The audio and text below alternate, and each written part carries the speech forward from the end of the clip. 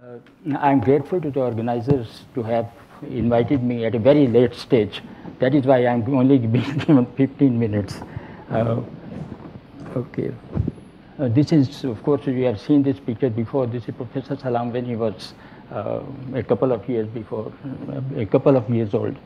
And uh, what is written here is, you see, this was Zaila Jhang that, that district Jhang is proud of him you might be able to read it, you see. I'm just showing you, uh, aha, this one is a picture which uh, was uh, which was taken in the, in the, uh, in the ICTP, the present ICTP, uh, many, many years before. Uh, I call it as a picture of three generations. But of course, yes, this is my this is Professor Salam, he's my supervisor. Then Dirac, he was not the supervisor of Salam, working for was there. But I call it a picture of three generations. This is a Japanese, I have forgotten his name. But I, I like this picture and uh, uh, I tell my grandchildren, you see, look at what your grandfather was at some stage of his life. Okay, this is the grave of Professor Salam and uh, the, one would say that this is the end of him, but this is not the end of him. This is the physical end of him, but the spiritual end, we are seeing it, we are all gathering here and oh, the ICTP is getting its wings in different places. And so from, from my point of view, but anyway, see, this is uh, the, the, the grave in which he is born, in which he is buried. This is in Pakistan and according to his will, uh, one of his, uh, his mother is also buried quite close by in the same area. Uh, this is another picture which of course Professor Duff showed and it disappears in his book. And uh, mm, he did not know many of the people. This is myself and this is Ansaruddin Sayyid. If you uh, look at the talk, yeah, this is okay. Now they have written all the names on it, you see. All the names, this is in the picture which has come to me from Pakistan. They have given all the names and Professor Duff, he's not here, but I, I would send it to him so that he would know all the, and many of us, you see, this was uh, Pakistani, this is Pakistani, uh, this is a Japanese, you see, who collaborated with me also. Pakistani, Pakistani, John Strathdee, very well known. I, I believe that Bob Delbourgo is not there. This is my son, this is Arif-uz-Zaman also another Pakistani. Many of these Pakistanis are dead now, but some of them are alive. But this is, is a picture which of course uh, was held uh, probably after Professor Salam's inaugural lecture, uh, Professor Salam and then uh, and many others you see, those who were in it. I, I like this picture, but anyway, this is the end of the picture, you see. And this is the, presentation. I'll just go through it very fast. Uh, go through it very fast. The, the exercise started with, uh, with something which I did with one, one of my students, but this is the main uh, inspirator, Van Wyk, from South Africa. He has been the president of the South African Physical Society for many, many years. I have tried to contact him to tell him that what I was doing, but uh, I couldn't get it. I couldn't get in, uh, in, touch with him. He wrote a paper on O31, uh, O31, and of course tried to decompose it into products of uh, two uh, groups. We tried to do this in this paper. The exercise is on this part, that SO4 and SU2 cross SU2, there is a homomorphism between them homomorphism in the sense that two of these is uh, go go into the same one. I will show some something like that afterwards in a couple of minutes, which I have at my disposal. Uh, so we are looking at the fine, and uh, he wrote that at some stage uh, in, in, one of the exercises, uh, he, he arrived at a problem which he claimed to be a formidable non-linear problem Uh, I will concentrate on at the end. I will show you what the problem was. You see, and uh, fortunately, I was able to solve it, and together with one of, one of my students. You see, so, and it appeared in, in the proceedings of one of the conferences somewhere. But uh, let's first of all look at see what's the sort of problem we are looking at. It's a finite rotation of SO4. What is SO4? SO4 is the uh, group of all uh, what do we call it orthogonal transformations with determinant one orthogonal transform in four dimensions. And they have to be decomposed in terms of uh, two of these, something like that. But first of all, you see, any orthogonal transformation in 4 by 4, 4 by 4 orthogonal transformation, there are 16 elements, and it is well known that there are only 6 independent ones. The question is, how do we write it in terms of 6 independent ones? This is the exercise we found, found it beautifully. So uh, the exercise starts here, you see, you look at take two vectors a and b which are orthogonal to one another and the sum of their magnitude is equal to 1. In terms of these matrices you uh, compose a matrix U which is an uh, obviously this is an antisymmetric matrix. These are I, these are zeros antisymmetric matrix. And not only this but also yes compose its dual also. This is the dual. And then it's strange that this matrix is qubit minus u and ud uh, this one the dual dual also has got its qubit minus u. Because the cubes are e equal to minus u or whatever it is you can do this exponentiation. And exponentiation you see would look like this. You see this is the exponentiation exponentiation of u and this is the exponentiation of e to the 2d5 something something like this, because UD cube, etc., they all get absorbed in cos theta sine theta. So we can look at this delta 1, which is AB, AB theta phi dependent as the product of these two. And of course, you see these two commute, uh, not only, the, uh, yes, UDU is equal to 0, something like that, you see. Uh, UDU is equal to 0. So you can multiply these two and when we multiply again, you see, you get some sort of an expression for it for delta 1. Now, delta 1 is determinant. Uh, uh, obviously, uh, we can calculate the determinant very easily because delta 1 delta 1 t is equal to i. Delta 1 t uh, is the, uh, it's obtained from this one by replacing u by minus u because these are uh, uh, these are antisymmetric matrices. So this one will be 1 and this one will be 1. As a result of it, you see that delta 1 is definitely an orthogonal matrix. But what is this determinant? Determinant, we can now calculate the determinant of delta 1 would be plus or minus 1. So we concentrate on the determinant equal to 1 because that is the one which is uh, related to i uh, in a continuous manner. So, so this delta 1 now depends upon a and B, theta and phi. But A vector and B vector, they are orthogonal ones, sum of their squares of their magnitude is equal to 1. So there are two conditions on A and B. So there are four parameters from there, and two parameters are coming theta phi, exactly six parameters which we, we want.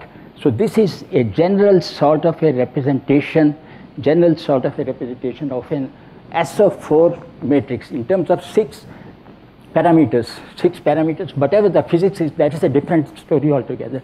In terms of six parameters, A and B are orthogonal vectors and theta and phi. Just to see their significance, see, first of all, we just uh, concentrate on B equal to 0. When B equal to 0, it becomes even a simpler sort of a thing.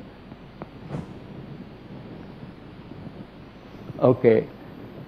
Uh, no, I've gone too much, too much ahead.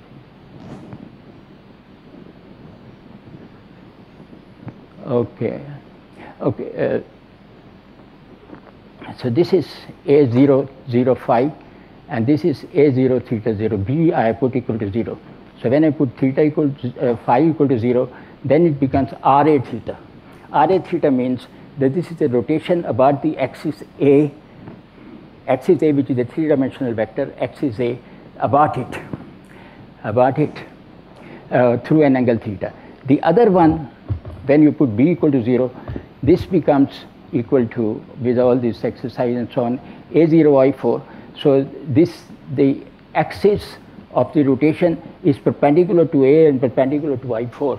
So this is in the, in the, in the uh, so this is a rotation in the plane of I and I4, the fourth axis. So they, the two rotations are perpendicular to one another.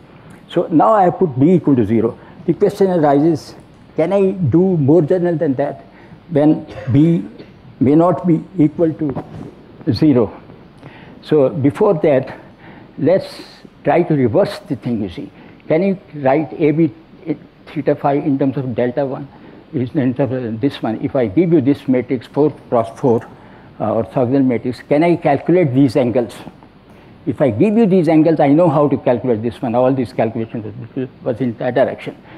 To do it, we calculate the traces of these matrices, very easy uh, exercise, and define a new quantity m, which is delta 1 minus delta 1 t.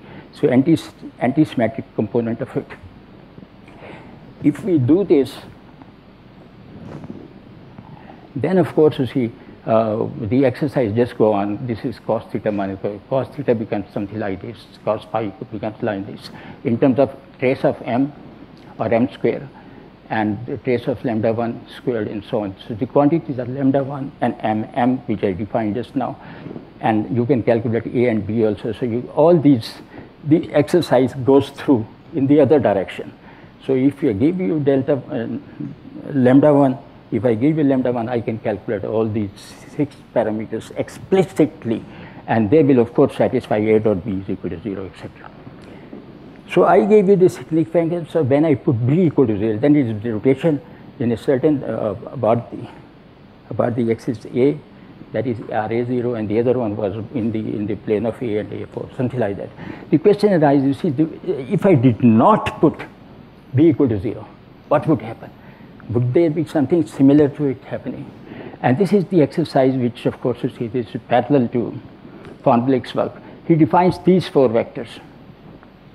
These four vectors are orthogonal to one another and they are of magnitude of one magnitude and they are orthogonal, so they form an orthogonal system of four vectors. The question arises, how do U and UD, the matrices which I wrote before, how do they operate upon them? This is the sort of operation that happens then lambda 1 on A gives you this thing.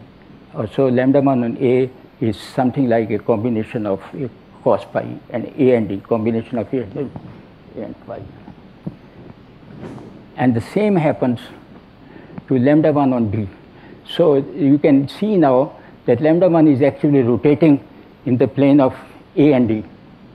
The other one is rotating in the plane of the other. So this is the, the conclusion uh, I can read for you uh, we conclude that lambda 1 AB theta 0 is a rotation by an angle theta in the two plane spanned by BE and keeps the AD plane invariant. It's exactly the same sort of exercise which we were doing for the special case. Okay, now this is the meat of the problem. Representation rotations by unitary matrices, the uh, homomorphism which I was mentioning. Do I have five minutes or what?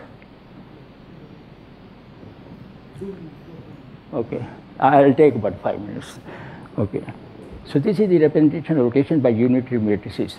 So if I give you two unitary matrices V and W, then I can calculate this stress by writing sigma or rho. Sigma and rho are calculated from the, these are the related to Pauli matrices. And then I uh, write it as R mu nu. And then R mu nu has satisfies all the properties which I want. The question is, can I reverse it?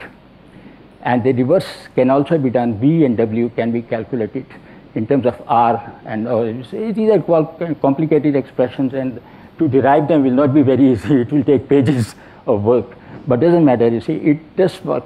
The question is, you see, plus minus V and plus minus W. That tells you the homomorphism. You see that there are two solutions to the problem. This way, they give me one, I have two solutions. Give me B and W, I have a unique solution for R. And then Okay, I have gone back, I think. Okay, it doesn't matter, see, whatever it is. So this is the sort of thing, you see, which is happening here. Okay. Uh, this one, there are many ex, uh, examples, you see, which can be then calculated on the basis of this exercise. The main point is that you have decomposed a 4 cross 4 matrix in terms of product of 2 cross 2 matrices. And to deal with 2 cross 2 matrices is much easier than to deal with 4 cross 4 matrices. So uh, the, the, the sort of uh, rotations which are taking place, see, they will be much easier to handle once they are transformed into uh, 2 by 2 context. Okay, then there are, I, uh, we have given uh, a lot of uh, this one examples to see where it could be useful. Product of arbitrary rotation or this and that. I'll only go to one, one yes. I'll go to this one. This is the last one, this equivalence of this RAB theta 0 and RAB 0 theta. We have defined these before, these two rotations, you see. These two are equivalent in the sense, you see, that you should be able to find a rotation which takes n to this. This also takes, this side is the same, are the ones which we were interested in. So if you want to show that this one is related to this one, reverse, and then you will see that they, if you can calculate n and u, n appears here, u appears here, or something like that. If you can calculate these, then you will be able to show that these are equivalent. And the exercise, what I was saying, you see, it is easier to write in terms of b's than in terms of the other ones. So if you write in terms of b's, and of course you see all these things have been calculated before, so you will get a and b and the sort of, sort of angles and so on. You see, a and b in terms of n and u. A and B in terms of N and U. Our job is to find N and U. This is where Van Wyk comes to this stage for his own problem.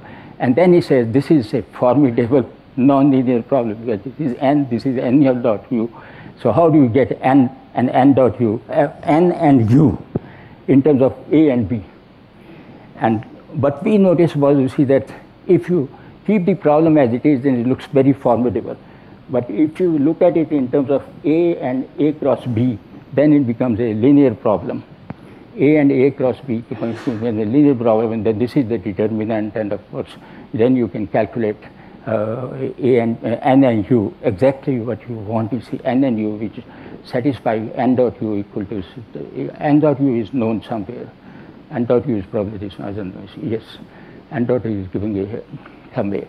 So n dot u is known, so n and u can be calculated, the, the, reverse process has been done. So as a result of it, you will see that uh, AB theta phi is, is uh, equivalent to the other one. So uh, the paper is a very long one, but anyone who is interested, uh, I could uh, give him a copy or send him on the email. Uh, but the main point is, you see, it is a so-called formidable problem which seemed to be not so formidable as it seemed to Van Wyk. Uh, and uh, I, I, I, feel the inspiration is the main thing. You see, the scientific community is becoming an international community, and mine is a small component of that international thing.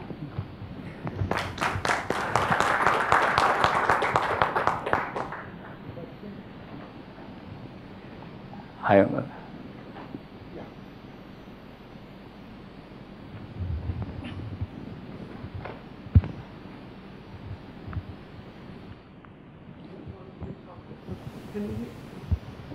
One quick comment. That historic photo that was taken on the roof of the Blackett building. I didn't follow what he was. What is he saying?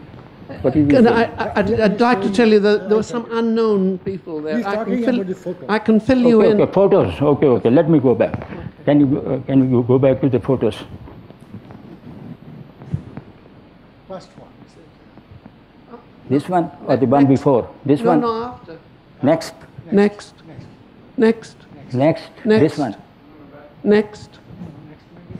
Yeah. Yeah. There are some unknowns you say there. I can think I can fill you in on these before you hand it over to Michael Duff. Thank you. Do you. you see your name or not? No, I was in America, I think, at the time. okay, you were in America. Yes. This is somebody who sent me from Pakistan. So uh, the names are there. I couldn't see it, but they have been able to locate the names, everything. Okay. Thank you very much for the comment. Yes. uh, I enjoy it, you see, because you see, these are the these are the memories, memories, 60s. There are no more questions. Let's thank. Okay, thank you very much. Sir.